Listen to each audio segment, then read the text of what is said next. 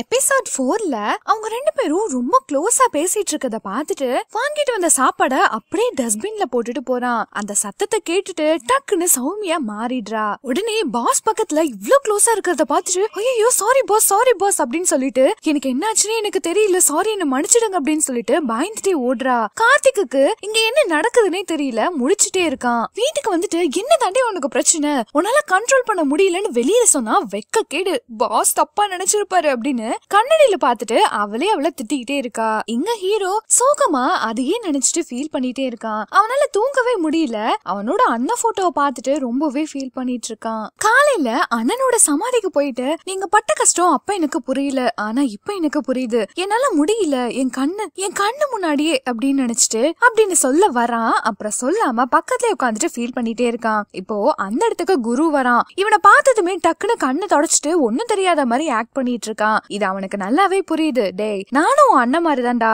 எனக்கு எல்லாமே தெரியாதுன்னு நினைச்சிட்டு இருக்காத. கண்ணு வேக்குறதுக்கும் கண்ணுல தூசி பட்டதுக்கும் வித்தியாசம் கூடவா எனக்கு தெரியாது. என்ன உனக்கும் சௌமியாக்கும்? அவளை நம்பாத. அந்த சிடுமூஞ்சியை எப்பவுமே நம்பாத. உன்னை ஏமாத்திடுவாடா அப்படின்னு சொல்லிட்டு இருக்கான். இவன் நல்லா ஏத்தி விட்டுட்டே இருக்கான். நம்ம ஹீரோக்கு ரொம்ப கஷ்டமாகுது. வெளியே கூட ஷேர் பண்ண முடியாம அவ்வளோ ஃபீல் பண்ணிட்டு இருக்கான். அடுத்து டாக்டரை காட்டுறாங்க.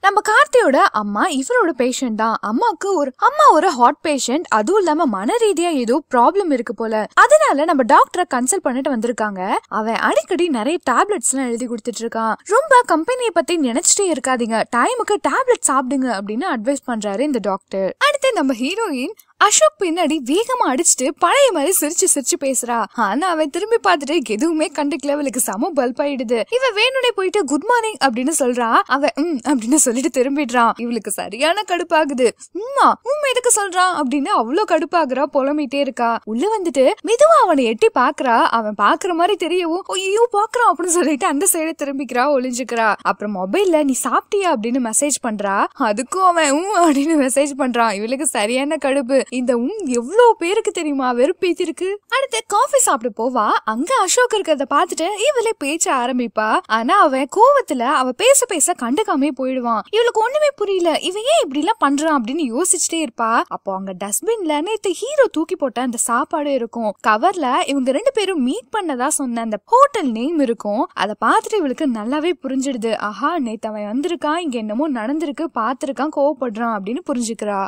ரூம்க்கு வந்துட்டு அவளுக்கு ஒரு யோசனையா இருக்கு. இவ்வளவு கோபப்படுற அளவுக்கு நான் நேத்து என்ன பண்ணி தொலைஞ்சேன்? ஐயோ கடவுளே ஞாபகம் வேற வரமாட்டேங்குதே அப்படின்னு புலம்பிட்டே இருப்பா. அப்ப கரெக்டா அசோக் வரான்.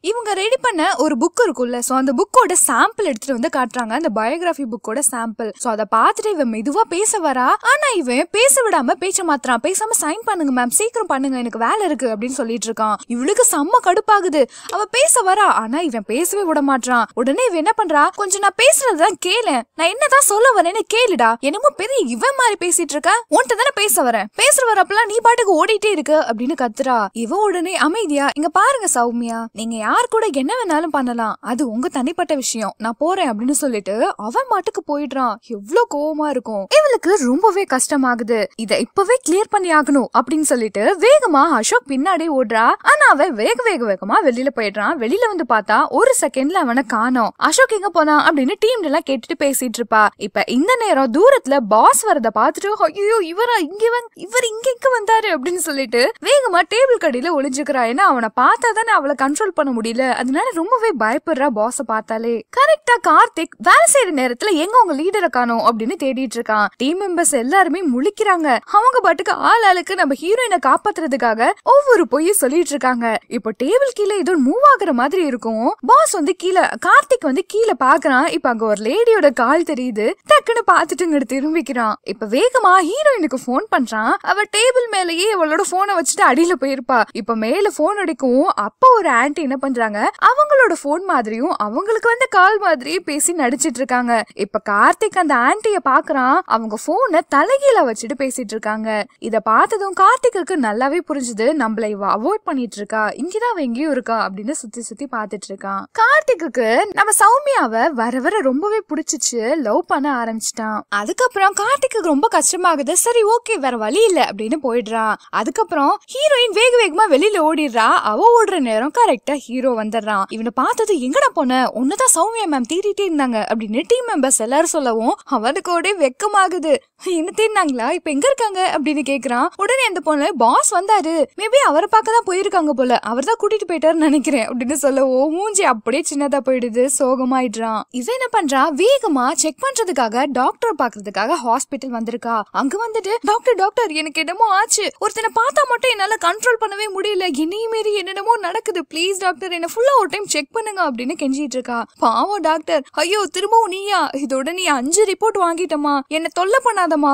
உன்னை ஃபுல்லா செக் பண்ணியாச்சு. உன் உடம்புக்கு ஒண்ணும் இல்ல உன் மனசுக்கும் ஒண்ணும் இல்லம்மா அப்படின்னு கதறாரு. இவ அடிக்கடி வந்து வந்து தொலை பண்ணிருப்பா போல சோ வெளியே போமா அப்படின்னு ரொம்பவே திட்டிடுறாரு. இப்போ கரெக்டா வெளியில வரப்போ அந்த இடத்துல பாஸ் நிக்கிறான். அவனை பார்த்த உடனே ஐயோ வில்லங்க இங்க என்ன பண்ணுது? அப்படின்னு திரும்பி ஓட பாப்பா. இவன் இங்க நிக்கிறத கரெக்டா பாஸும் பாத்துறான். கார்த்திக் பாத்துட்டு சௌமியா அப்படின்னு கூப்பிடுறான். அவ பக்கத்துல இருந்ததும் இந்த நேரம் ஆபீஸ்ல இல்லாம நீ இங்க என்ன பண்ற? அப்படின்னு கேக்குறான். அவ ஏதோ ஹாஸ்பிட்டல் வந்து எனக்கு உடம்பு சரியில்லைன்னு சொல்லிட்டு எப்படியோ சமாளிச்சிடுறா. அப்புறம் கார்த்திக் மெதுவா நேத்து நைட்டு அப்படின்னு அந்த ரொமான்டிக் விஷயத்த பத்தி பேச வரான். இவ உடனே ஐயோ நேத்தா? நேத்து நேத்து ஒண்ணும் நடக்கல பாஸ் நேத்து ஒண்ணும் நடக்கல. அப்படின்னு பயப்படுறா. உடனே கார்த்திக் ஒன்ன மாதிரி என்னால மாத்தி மாத்தி நடிக்க முடியாது. இனி நீ ஏன் கூட தான் ஒர்க் பண்ணணும்? நம்ம சேர்ந்து தான் ஒர்க் பண்ண போறோம் அப்படின்னு அவளை வலுக்கட்டாயமா இழுத்துட்டு போறான். ஐயோ பாஸ் என்னோட டீம்லயே எனக்கு நிறைய வேலை இருக்கு பாஸ் இதையும் நான் சேர்த்து என்னால பார்க்க முடியாது விடுங்க அப்படின்னு சொல்லிட்டு இருக்கா ஆனா அவன் கேட்க மாட்டான் நான் சொல்றது நீ கேட்டுதான் ஆகணும் அப்படின்னு டெரராவே போயிட்டு இருக்கான். அவன் மனசுக்குள்ள காதல் இருக்கு ஆனா வெளியில டெரரா காட்டிக்கிறான் ரகத் பாய் போல. ஒரு ஃபேமஸான ரொமான்ஸ் ரைட்டர் ஒருத்தர் இருக்காரு அவருக்கு கேன்சர் சீக்கிரமே சாக போறாரு. அதுக்கு முன்னாடி அவரோட லாஸ்ட் எபிசோட் அவர் இன்னும் பப்ளிஷ் பண்ணவே இல்ல. அது எப்படியாவது அவருக்கு முன்னாடி நம்ம அந்த காப்பிரைட்ஸ வாங்கிடணும். நம்ம ஃபர்ஸ்ட் பப்ளிஷ் பண்ணணும் அப்படின்னு கூட்டிட்டு போறாரு. இவர் சார் சார் இல்ல என்னோட டீம்ல ஏகப்பட்ட வேலை இருக்கு சார் பயோகிராஃபி புக்கை இன்னும் நான் முடிக்கல ரெஃபர் பண்ணணும் அப்படின்னு சொல்லிட்டு இருக்கா. ஆனா அவன் கேட்க மாட்டான் நீ வந்துதான் ஆகணும் அப்படின்னு சொல்லிட்டு லிஃப்ட்டுக்குள்ள போயிடுறான். வேற என்ன பண்றது? பாஸ் சொல்லிட்டாரு. வேற வழி இல்லாம இவளு லிஃப்ட்டுக்குள்ள பின்னாடி போவா. அப்புறம் அவனோட கார்ல கூட்டிட்டு போறான். இவளுக்கு நல்லாவே புரிஞ்சிருது.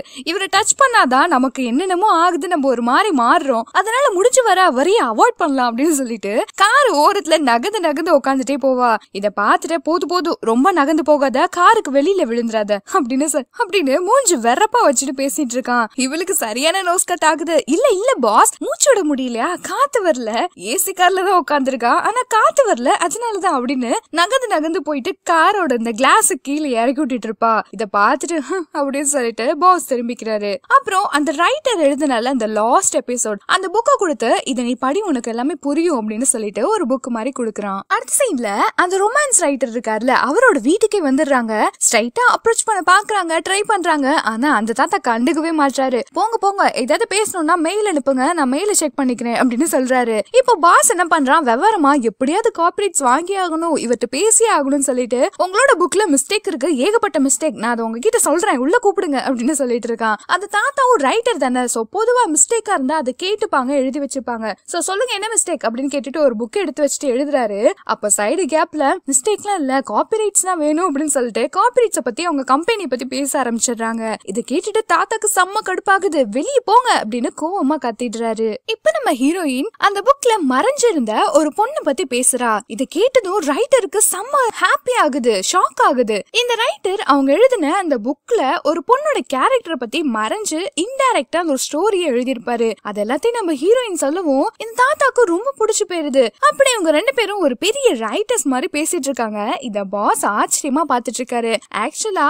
இந்த உலகத்துல இருக்க அந்த சௌமியா கேரக்டருக்கு புக்க பத்திலாம் எதுவுமே தெரியாது. ரைட்டர் கிடையாது. அவன் ஒரு பயோகிராஃபி டீம்ல லீடர் அவ்வளவுதான். பட் நம்ம கதையோட மெயின் ஹீரோயின் இருக்காங்கல்ல ரைட்டர் ரம்யா. அவங்க ஆல்ரெடி ரைட்டர் தானே. அவளும் ஒரு ஒரு ரொமான்ஸ் ரைட்டர் தான். சோ அதனால இந்த தாத்தாக்கும் இவளுக்கும் நல்லா செட் ஆயிடுது. சோ பேசிட்டே இருக்கிறாங்க. அவங்களோட புக்ல இருக்க நிறைய சஸ்பென்ஸ பத்தி இவளே உடைக்க ஆரம்பிச்சிடுறா. அப்படியே இந்த சீனை கட் பண்ணி இங்க ஆபீஸ்ல திரும்ப ஏதோ ஒரு ஃபைலுக்கு எரர் பண்ணிருப்பான். சோ அவளோட ஃபைல்ஸ் எல்லாமே பெண்டிங்ல இருக்கும். சோ இந்த மாதிரி ஏகப்பட்ட விஷயம் பண்ணிருக்கவும் ரம்யாக்கு செம்ம கடுப்பாகுது. அவளை கூப்பிட்டு வச்சு செம்மையா திட்டிட்டு இருக்கா. கார்த்திக் தான் ரொமான்ஸ் டீமுக்காக வெளியில கூப்பிட்டுட்டு போனா அப்படின்னு இவளுக்கு தெரியாது. நீ ஏன் ஓ டீம் வேலையெல்லாம் பார்க்காம பக்கத்து டீம் வேலையெல்லாம் பார்த்துட்டு இருக்க? உன்னோட வேலை இங்க ஏகப்பட்ட பெண்டிங்ல இருக்கு. நீ எதுக்கு ரொமான்ஸ் டீமுக்கு போன? எதுக்கு நீ அந்த ரைட்டரை போய் பார்த்த? தயவு செஞ்சு நீ வேலையை விட்டு நின்று. உன்ன மாதிரி ஆள்லாம் இந்த ஆபீஸ்க்கு தேவையில்லை. உன்னாலலாம் மிஸ்டேக் பண்ணாம இருக்கவே முடியாது. நாளையில இருந்து ஆபீஸ் வராத அப்படின்னு ரம்யா கத்துறா. இதை கேட்டுட்டு அவளுக்கு ரொம்பவே கஷ்டமாகுது. இந்த நேரம் கரெக்டா பாஸ் வந்துடுறான். அவள ரொமான்ஸ் டீமுக்கு ஒர்க் பண்ண சொன்னதே நான் தான். அவ மேல எந்த தப்புமே இல்ல. நான் கூப்பிடும் தான் அவ வேலைய கொஞ்சம் பெண்டிங்ல வச்சுட்டு என்னோட வேலையை முடிச்சு கொடுக்க வந்தா. யார் வேலையில இருக்கணும்? யார் வேலையை விட்டு போகணும்னு நான் பாத்துக்கிறேன் அப்படின்னு சொல்லிட்டு அவன் பாட்டுக்கு கோவமா போயிடுறான். ரம்யாக்கு ஒரே இன்சல்ட் ஆயிடுது. அடுத்து நம்ம ஹீரோ பாஸும் சௌமியாவும் ஒன்னா ரூமை விட்டு வெளியில வரத பார்த்துட்டு அவனுக்கு மூஞ்சியே சின்னதாயிடுது. இப்ப ஹீரோயின் வேக வேகமா யோ இவன் கிட்ட இருந்து எப்படியாவது தப்பிக்கணுமே அப்படின்னு சொல்லிட்டு ஸ்மார்ட்டா யோசிக்கிறா. இப்ப பக்கத்துல அசோக் நிக்கிறத பார்த்துட்டு பாஸ் பாஸ் இந்த வேலையை என்னால ஒத்தைய பார்க்க முடியாது. சோ ஹெல்ப்புக்கு நான் அசோக்கையும் கூப்பிட்டுக்கிறேனே அப்படின்னு அவனை கோத்து விட்டுருவா. அவனுக்கு ஒண்ணுமே புரியல. இதுக்கு இப்ப என்ன இழுக்கிறாங்க? அப்படின்னு யோசிச்சுட்டு இருக்கா. அவனும் உடனே பாஸ் கார்த்திக்கும் என்ன சொல்றான்? சரி ஓகே உன்னால ஒத்தைய வேலை பார்க்க முடியாது. பரவாயில்ல நீ கூப்பிட்டுக்கோ அப்படின்னு சொல்லிட்டு போயிடுறான். நம்ம ஹீரோ அசோக்குக்கு இது சுத்தமா பிடிக்கவே இல்ல. நம்ம டீம் ஒர்க் பார்க்கவே என்னால நேரம் இல்ல. அதுவும் இல்லாம உங்க கூட பாஸ் கூட என்னால ஒர்க் பார்க்க முடியாது. எனக்கு என்னோட வேலை எக்ஸ்ட்ரா இருக்கு அப்படின்னு சொல்லிட்டு அந்த புக்கை தூக்கி போட்டுட்டு கடுப்பா போறான். இத பார்த்துட்டு சௌமியாக செம்ம கடுப்பாகுது. டீம் லீடர் நான் சொல்றேன். நான் சொல்றதை தான் நீ கேட்டாகணும். இந்த வேலையை நீ பண்ணி தான் ஆகணும். ஒழுங்கா ஃபைல் எடு. என்ன மரியாதை இல்லையா? அப்படின்னு கத்திடுறா. இவனும் வேற வழி இல்லாம முறைச்சிட்டே அந்த ஃபைல எடுப்பான். அதுவும் எப்படி எடுப்பான்? அப்படி முறைச்சிட்டே வேற எதுவுமே பண்ண முடியாது. ஏன்னா நமக்கு மேல இருக்க லீடர்ஸ் எல்லாம் சொன்னா கேட்கவே முடியாது. எதிர்த்து பேசவும் முடியாது. அப்படியே முறைச்சிட்டு அவளை பார்த்துட்டு பக்கத்துல வந்துட்டு அந்த ஃபைல் எடுத்துட்டு போவான். இதோட எபிசோட் ஃபோரை முடிக்கிறாங்க. கீழே டிஸ்கிரிப்ஷன்ல எபிசோட் ஃபைவ் இருக்கும். போய் செக் பண்ணி பாத்துக்கோங்க நாளைக்கு நம்ம அடுத்த எபிசோட்ஸ் பார்க்கலாம். நம்ம வீடியோஸ் உங்களுக்கு கண்டிப்பா பிடிக்கும். பிடிச்சிருந்தா லைக் பண்ணி கமெண்ட் பண்ணி எனக்கு நீங்க சப்போர்ட் பண்ணுங்க. Okay friends by